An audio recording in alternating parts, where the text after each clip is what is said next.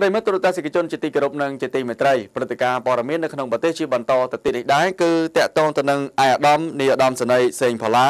ឲ្យសិក្ខាកាមទាំងអស់ត្រូវតែគោរពវិន័យនិងក្រេបយកចំណេះដឹងទៅបម្រើការប្រជាពលរដ្ឋ នាព្រឹកថ្ងៃទី27ខែកក្កដាឆ្នាំ2017នៅបណ្ឌិតសភានគរបាលកម្ពុជាដីអិតមានបើកវគ្គបណ្ដុះបណ្ដាលកម្រិតបឋមវិជ្ជាជីវៈនគរបាលលើកទី3វគ្គបណ្ដុះបណ្ដាលមន្ត្រីនគរបាលប៉ុស្តិ៍រដ្ឋបាលនិងវិក្រិតការថ្នាក់ដឹកនាំពន្ធនាគារចំនួនទី3ដែលមានសិក្ខាកាមសរុបមានចំនួន1504នាក់ក្រោមអធិបតីភាពអាយុដំនាយឧត្តមសេនីយ៍សេងភលីប្រធានបណ្ឌិតសភានគរបាលកម្ពុជា ថ្លែងនៅក្នុងពិធីនេះឯកឧត្តមនាយឧត្តមសេនីយ៍សេងពលីបានលើកឡើងថារាជរដ្ឋាភិបាលកម្ពុជាក្រោមការដឹកនាំប្រកបដោយកតេបណ្ឌិតដ៏ឆ្លៀវវៃរបស់សម្ដេចអគ្គមហាសេនាបតីតេជោហ៊ុនសែននាយករដ្ឋមន្ត្រីនៃព្រះរាជាណាចក្រកម្ពុជាបានដាក់ចេញនូវគោលនយោបាយកំណែទម្រង់កងកម្លាំងប្រដាប់អាវុធគ្រប់ប្រភេទដោយផ្ដោតសំខាន់ទៅលើទំនើបកម្មនិងការពង្រឹងសមត្ថភាពវិជ្ជាជីវៈនៃកងកម្លាំងគ្រប់ប្រភេទនៅក្នុងបរិបទសកលភាវូបនីយកម្មនិងការធ្វើសមាហរណកម្មកម្ពុជា នៅក្នុងសហគមន៍សេដ្ឋកិច្ចអាស៊ាន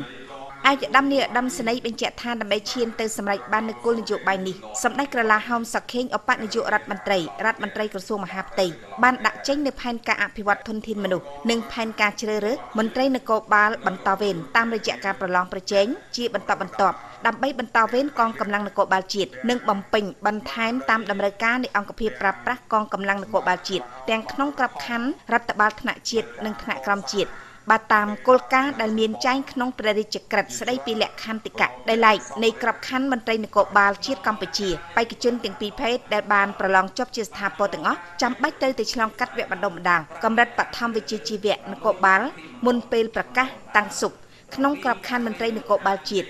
ជាមួយគ្នានេះដែរក្រសួងមហាផ្ទៃក៏បានអនុញ្ញាតឲ្យបណ្ឌិតសភាបើកវគ្គបណ្ដុះបណ្ដាលបំពេញជំនាញជាច្រើនក្នុងឆ្នាំនីមួយៗតាក់ទងទៅនឹងវិស័យសន្តិសុខសម្រាប់ធ្នាប់សាធារណៈនិងពន្ធនាគារនៅនានានៅពេលប្រព្រឹត្តខុសបទបញ្ញត្តិនៃការប្រឡង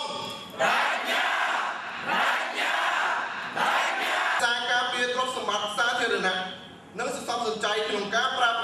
រាស់ទឹកប្រា ជាចុងបញ្ចប់ឯកឧត្តមប្រធានបានផ្ដល់អនុសាសន៍ដល់សិស្សនគរបាលនាយនគរបាលរងទាំងអស់ត្រូវយកចិត្តទុកដាក់សិក្សារៀនសូត្រនិងគ្រប់វិន័យឲ្យបានល្អខ្ជាប់ខ្ជួននិងប្រកាន់នៅទស្សនៈរៀនសូត្រឲ្យចេះមិនមែនរៀនឲ្យចប់ឬមិនមែនរៀនដើម្បីបង្ក្រប់កិច្ចនោះទេព្រោះបណ្ឌិតសភានគរបាលកម្ពុជាមិនមានការលើកលែងឬអនុគ្រោះឡើយចំពោះសិស្សដែលមិនបានគ្រប់វិន័យនិងមិនបានបំពេញគ្រប់លក្ខខណ្ឌនានាតាមកម្មវិធីអប់រំ អ្នកមិនទទួលបានជោគជ័យក្នុងការសិក្សានិងមិនត្រូវបានផ្ដល់វិញ្ញាបនបត្រនិងមិនត្រូវបានប្រកាសតាំងសុខនោះទេ